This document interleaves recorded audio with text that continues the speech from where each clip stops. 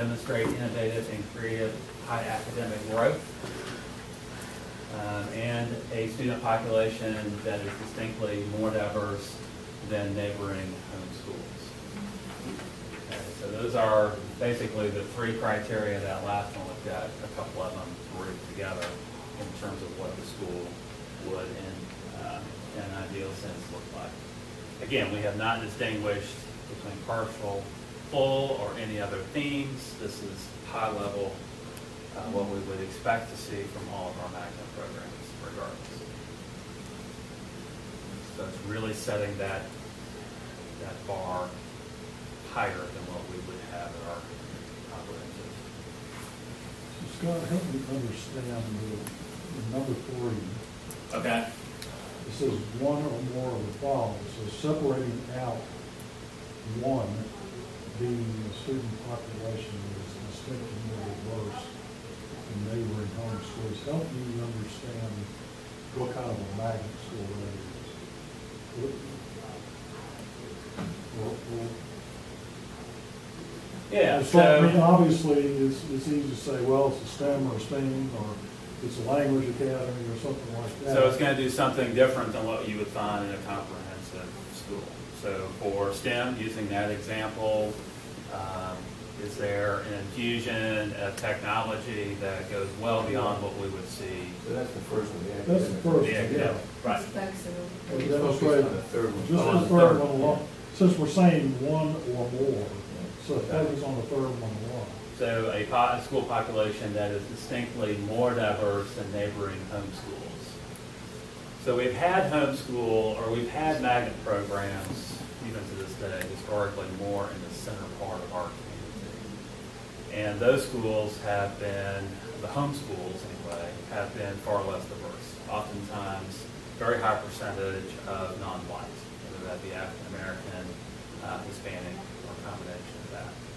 So since those magnet programs are located in those, in those areas, it would draw not only from that immediate area, but from the, uh, the entire county, so that they would be more reflective of the overall county uh, diversity population. Okay, so do we, I mean, I'm asking this question because of what Phil asked. So basically, it feels to me like we're saying, okay, we ought to have a magnet school that exists simply for the desire of individuals who want their child to be in a diverse environment when they go to school. Do we have such a thing? Solely based on that? Not solely based on that. But this says four, we could Four. But this is, all you've got to read numbers one and two Yeah. above Right. it too. Let's- You- let's put them all together. Yeah, keep, keep home schools and magnet schools up, all up there together. So you've got to read go. magnet number three in combination with magnet number one and two. Yeah, So you have to have high achievements, narrowing achievement gap, and then number three is one of those items, one or more of the following items. Well, you know, clearly academically distinct, we think we can all point to that. Um, Demonstrated innovation in creating high academic growth. Um, You know, again, that goes to the theme. Exactly. And then, and/or a student population distinctly more diverse than the neighboring home schools. So, So um, basically, you could have a magnet that did one, two, and three A. Yeah. And Right. it would be. and you'd be meeting the, And it would be no Right. more diverse than, Right. right, that's correct. than altogether.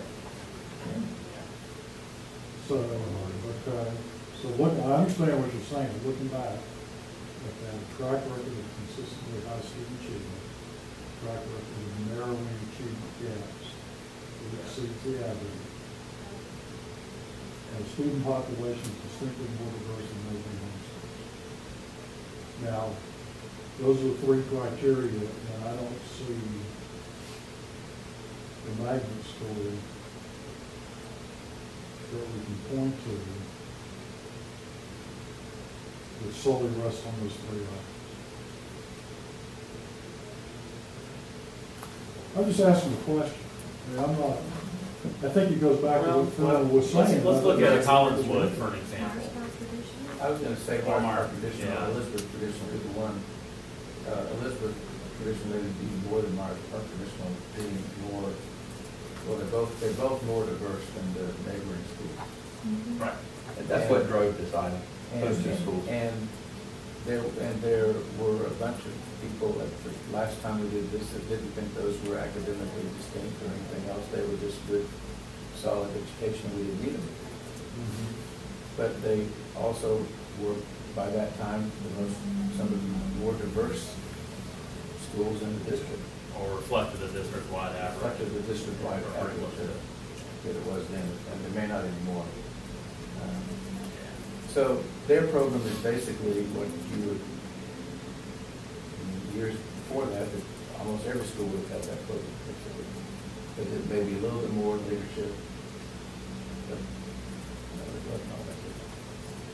And the traditional schools came about at the same time we, we brought in open schools, which gave what really was a more, uh, to use a word that probably was never used, a more rigid thing with traditional schools and a more open environment. I have a daughter went through open education, it was absolutely perfect for her. I mean, it couldn't have been better for her. I have another daughter went through IB, and that couldn't have been, that structure, if she hadn't had that, no telling where she'd been, you know? And it was just amazing, the, the fit, the, the way it fit for our kids. But we don't, we, we don't have open anymore. And that would, that would not make the cut into our magnet program. Ultimately, we cut it out, and about the same time, wasn't it? I think we cut out the open program about Yes. the same time. I think actually it was a few years before that. Yeah, it was a few years before that. Two years before that, yeah. Traditional open schools, early was open school in Right. nineteen seventies, nineteen seventies. Yeah, it was one of the first open, or the first magnet program we had. And it's called an optional. It was an optional school in those days, it wasn't called a magnet program. I I don't, I don't know if our superintendent would read this this way, but, but I read one and two under magnets. I think, why isn't that up under homeschools? I mean, it's like a big contradiction we got going here. And so, in writing this. We, we wrote it, we We wrote it. had we all had that We- conversation then So if homeschools are our remember first priority, why aren't they the ones consistently with highest student achievement and a track record of improving achievement gaps? I think we contradict ourselves.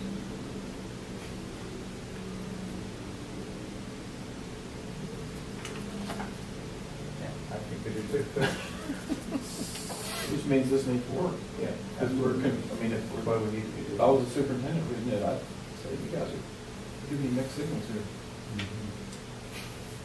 Well, you know, I think our ultimate goal is that every student be a high quality, high performing, academically achieving, you know, that's, that, that's our ultimate goal, in which case all of this language will, except for maybe the diversity, will be moved.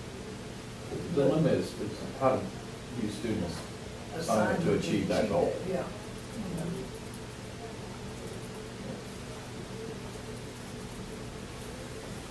Yeah, no, Eric, if the thinking was that homeschools are number one, we all know that.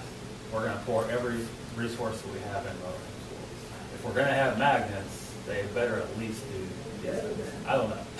But, but we're telling our superintendent that if you're gonna propose a magnet school, they gotta meet one or two.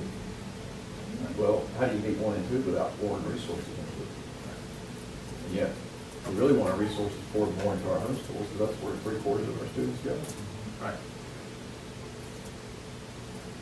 And do you get pulling resources from your homeschools in order to. Which is, that's the argument. That's the argument. Magnet schools cream, students and teachers. And we can control the population. And we don't overcrowd them. Don't know, no. But all those other things we layer into our homeschools, and they got all that to overcome. Yet they're our first priority. That's, that's been the biggest dilemma. this week.